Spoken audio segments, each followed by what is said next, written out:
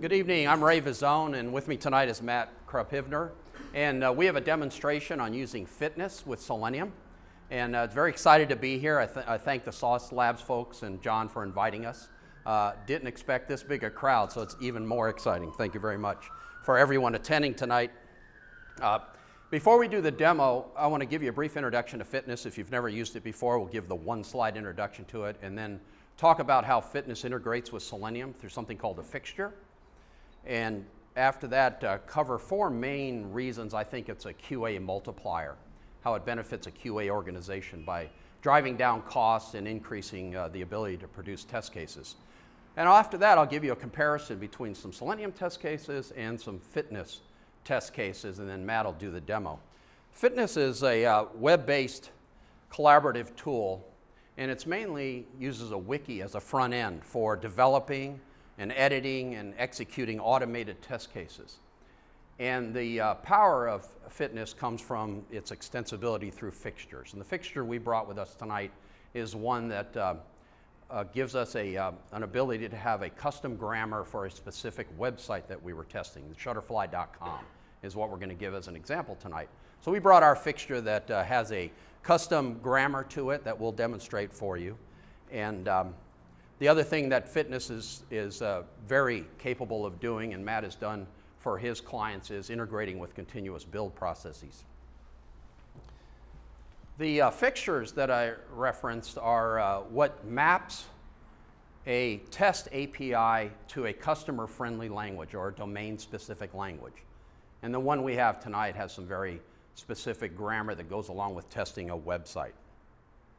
And we're going to show the demo of using this language as it in testing a website using Selenium RC and Grid and then Sauce on demand.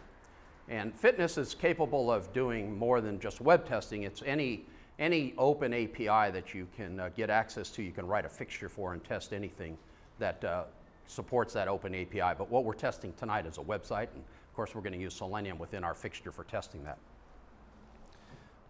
The four main benefits I see from Selenium integrated with FitNesse has to do with uh, driving down cost and increasing test cases. And the first one is being able, by being able to offer testers a customer-friendly language, uh, we can use non-programming resources for writing test cases, which opens up the pool of test case writers for automated test case writing. And also minimizes, therefore minimizes the need for uh, as many programming resources to write test cases.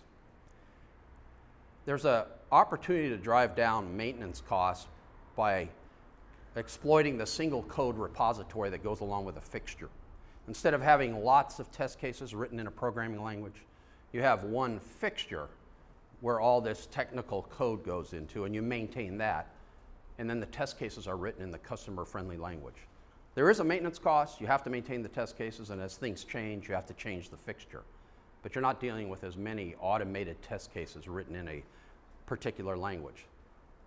Third, as we're all here tonight to talk about Selenium, because FitNesse has a fixture construct to it, and it can be extended to use Selenium, which we, we're going to show tonight, you get the opportunity to broaden your coverage, of course, across multiple browsers, uh, which is a benefit to anybody that's writing automated test cases. Write once and execute many times.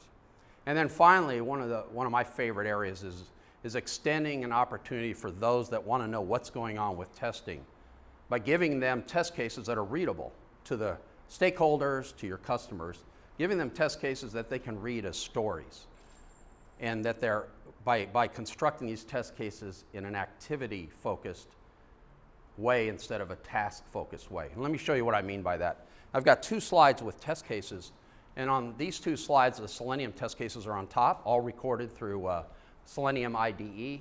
Very nice code there. Uh, each of those lines are a task. And below is the corresponding FitNesse test case. Don't know if I'm in your way or you all can see it. Below are the corresponding FitNesse test case, test lines, if you will, that uh, execute that same Selenium code. And this is all done in a wiki, and uh, these are snippets of test case code that Matt will show you in his demo.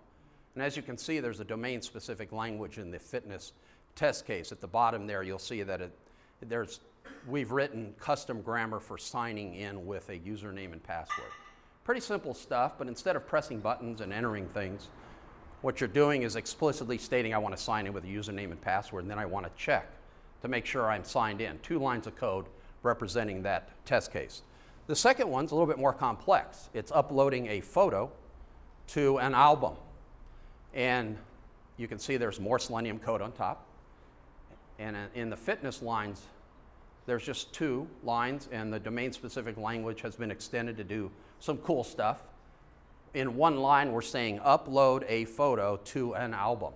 Very domain specific, very much matches up with what someone who would want to test a photo repository website would want to have in their test grammar. And then finally, the second line is there is wait so many seconds to make sure that that photo gets uploaded. And with those two comparisons, I'll now hand it over to Matt to uh, do the demo for you and show you this code in action using FitNesse and Selenium. Thank Here you, Ray. go, Matt.